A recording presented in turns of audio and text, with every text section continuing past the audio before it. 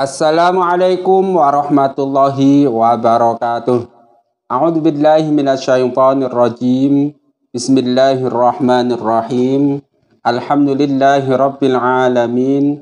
Allahumma salli wa sallim ala sayyidina Muhammad wa ala ali sayyidina Muhammad. Amma ba'du. Kaum muslimin rahimakumullah. Marilah kita sama-sama melanjutkan belajar membaca kitab Sahih Bukhari karangan Imam Bukhari. Kali ini kita masuk pada kitab Imam bab ke-17. Bab ke-17 ini adalah bab Babu fa in tabu wa aqamu sholata wa atu zakata khallu sabilahum At-Taubah ayat 5. Pada bab ini Imam Bukhari itu ingin menjelaskan atau ingin menafsirkan apa yang dimaksud dengan tabu atau apa yang dimaksud dengan taubat pada ayat kelima surat At-Taubat di sini. Kenapa perlu dijelaskan? Karena kita sama-sama tahu taubat itu banyak bentuknya. Ada taubat dari perbuatan zina misalnya, ada taubat dari minum arak, ada taubat dari durhaka kepada orang tua, ada taubat korupsi, taubat politik dan lain-lain dan lain-lain. Nah, dengan bab ini Imam Bukhari itu ingin menjelaskan bahwa taubat yang dimaksudkan pada ayat kelima surat Al-Taubat ini bukan itu semua. Tetapi yang dimaksudkan taubat di sini ada taubat dari kafir menjadi Islam dari musyrik menjadi tauhid, dari tidak beriman menjadi beri, beriman. Intinya itu ya. Jadi kalau Anda pengen tahu fa in tabu wa aqamu sholata wa atu zakata fakhallu sabilahum. Pertanyaannya, apa yang dimaksud taubat pada ayat ini? Jawabannya menurut Imam Bukhari adalah taubat meninggalkan kemusyrikan menuju tauhid dari non muslim jadi mus muslim. Kira-kira begitu ya. Nah, nah untuk menafsirkan ayat ini, Imam Bukhari itu menuliskan satu hadis, yaitu hadis nomor 25 yang berbunyi, Qala Rasulullah Sallallahu Alaihi Wasallam, Umirtu an uqatilan nasa hatta yashhadu an la ilaha illallah wa anna muhammadar rasulullah wa yuqimus salata wa yutuz zakata fa idza fa'alu dzalika asamu min dima'hum wa amwalahum illa bihaqqil islami wa hisabuhum 'ala Allah. Nah, pada hadis ini yang menjadi pegangan Imam Bukhari itu umir tu an uqatila an uqatila nasa hatta yashhadu an la ilaha illallah wa anna muhammadar rasulullah wa yuqimus sholata wa yutuz zakata. Jadi pada suatu masa ada perintah dari Allah Subhanahu wa taala kepada Rasulullah untuk memerangi orang-orang kafir harbi. Dulu pada waktu zaman perang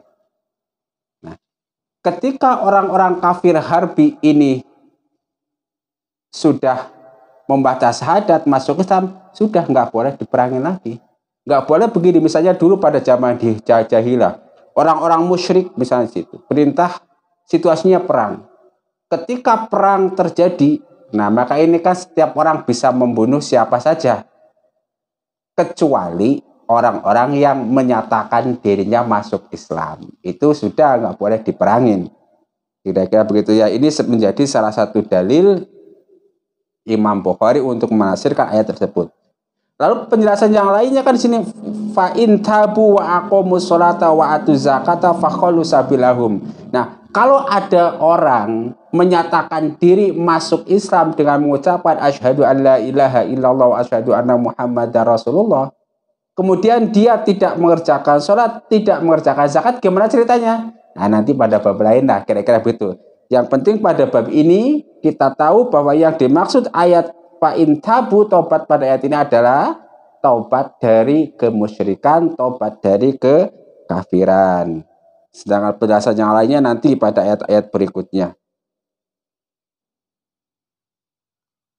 Nah, lalu apa persamaan antara ayat surat At-Taubah dengan hadis nomor 25 yang dibawakan oleh Imam Bukhari? Nah, persamaannya yaitu kalau pada ayat fa'in tabu kalau mereka bertobat. Nah, kalau pada hadis itu umir tu an uqatilana an uqatilana hatta yashhadu. Ya, kalau sudah membaca saja sudah persamaan pertama. Yang kedua yaitu pada ayat fakhallu sabilahum. Ya udah. Biarkan gitu Nah, kalau pada hadis asamu mini dima'ahum wa amwalahum ila bihaqqil Islam wa hisabuhum Allah. Jadi sama-sama. Jadi kalau ada orang musyrik kemudian masuk Islam sudah hartanya wajib dilindungi oleh kaum muslimin. Nah, lalu pelajaran yang ketiga yang kita bisa ambil dengan pada hadis ini yaitu dengan bab ini Imam Bukhari itu ingin menolak pendapat orang-orang murjiah yang mengatakan bahwa iman itu tidak memerlukan amal. Ini pendapat sesat kaum murjiah. Kita orang-orang ahlu sunnah wal jamaah itu berpendapat bahwa iman itu ada hubungannya dengan amal. Makin soleh amal kita, makin tinggi iman kita. Orang berjiah nggak begitu. Kalau iman sama amal nggak ada hubungannya. Kalau sudah iman ya sudah. Mau sholat ataupun tidak sholat tetap beri beriman kata orang berjiah. Mudah-mudahan bermanfaat. Jangan lupa like dan subscribe channel ini. Saya ulangi sekali lagi hadisnya, matanya biar sama-sama kita menghafalkannya anna Rasulullah sallallahu alaihi wasallam qala umirtu an uqatilan nasa hatta yashhadu an la ilaha illallah wa anna muhammadar rasulullah wa yuqimus salata wa yu'tuz zakata fa idza fa'alu dzalika asamu min dima'ahum wa amwalahum illa bihaqqil islami wa hisabuhum Rasulullah Shallallahu Alaihi Wasallam bersabda, aku diperintahkan untuk memerangi manusia hingga mereka bersaksi bahwa tiada ilah yang berhak diibadahi dengan benar selain Allah Subhanahu Wa Taala dan bersaksi bahwa Muhammad adalah utusan Allah. Kemudian mendirikan sholat, menunaikan zakat. Jika mereka telah melaksanakan hal tersebut, maka terpelihara jiwa dan hartanya kecuali dengan hak dan kewajiban dalam Islam dan hisab mereka terserah kepada Allah Subhanahu wa taala. Rabbana taqabbal minna innaka antas samiul alim wa tub alaina innaka antat tawwabur rahim. Subhanakallahumma wa bihamdika asyhadu an la ilaha illa anta astaghfiruka wa atubu ilaik. Wal afa minkum wassalamu alaikum warahmatullahi wabarakatuh.